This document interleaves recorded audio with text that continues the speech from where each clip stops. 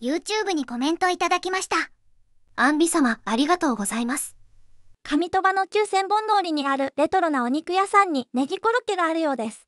機会がおありでしたら、ぜひレビューお願いします。レバカツもありました。上鳥羽コロッケの松地精肉店さんやね。では場所を地図で解説。京都市南区上鳥羽。目的地は左下のここです。近鉄の駅から約930メートル。今回カメラが謎の不調で道案内映像が途中で停止。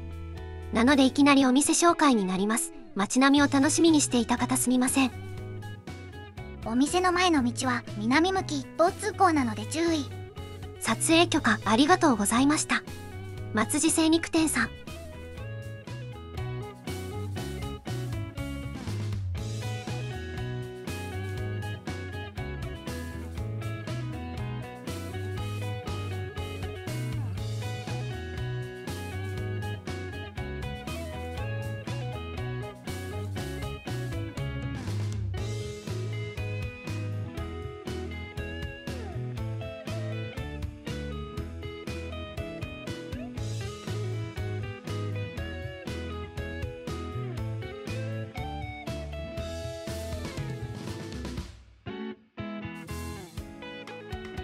京都の地ソース、燕ソース。この品揃えは地味に相違ですね。ここまで種類があるのは珍しい。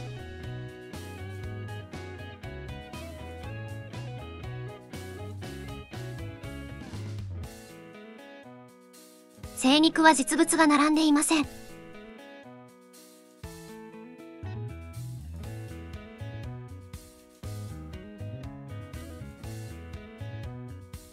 焼き豚が気になる。ここで少し注意を。お一人での運営のため営業時間がずれることもあると。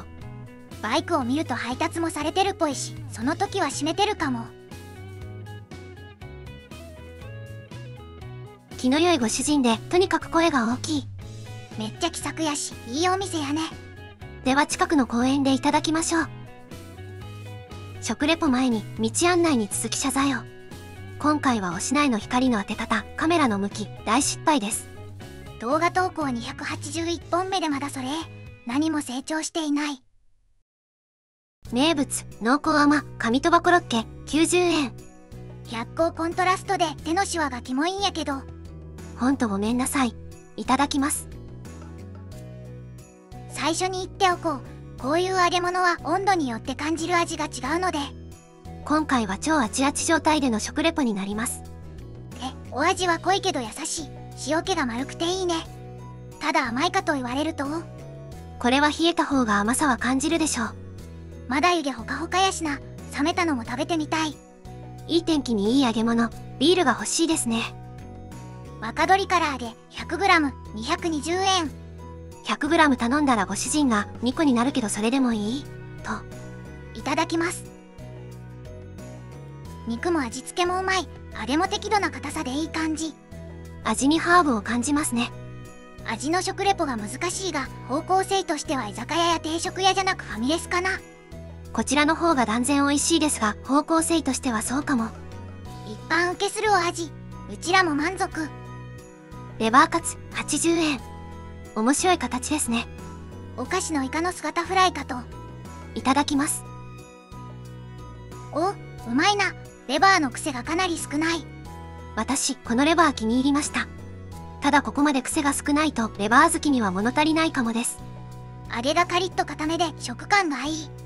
小学生時代の給食に年1回だけ出た、クジラカツを思い出す揚げ方。クジラカツはもっと薄かった気がするけどうまかったな。九条ネギコロッケ、90円。これもうまいね。今はあちあちすぎてネギをあまり感じられんが。優しいお味で美味しいです。上鳥羽コロッケより私はこちら派。そして上鳥羽と違って具が白い。面白いですよね。お皿に乗せても映えそうです。これが最後、ピリ辛カレーフライ、90円。結構固めの揚げでまん丸で面白いな。私なら商品名はカレー玉にしますね。センスないよ君。いただきます。うちにはたまらん味。なんとも言えん懐かしさを感じる。懐かしさってのは人、家庭によるとは思うけどね。庶民の昭和というか、昔の2日目のカレーというか、そういうのを感じますね。好きです。白飯にこれを数個だけ乗せたカレー玉丼を食べてみたい。ネーミングセンスないけど野球場ならギリギリ売れそうではではごちそうさまでした。なんか久々にうまいといいねしか言ってなかった気がする唐揚げは美味しいですが、ちょっぴり高く感じました。そう？スーパーだと通常 100g170 から240円ぐらいやし小売物価統計調査による価格推移という総務省統計局のデータを使ったサイトによると2024年8月の全国スーパー平均価格は226円らしいでは高くはなかったのですね。しかし今日は不満なく楽しめたはい、庶民的な美味しさで満足です。近場や立ち寄りやすい方はぜひ一度お試しを。次は九条ネギとレバーの冷めたのを食べてみたい。ではではご視聴ありがとうございました。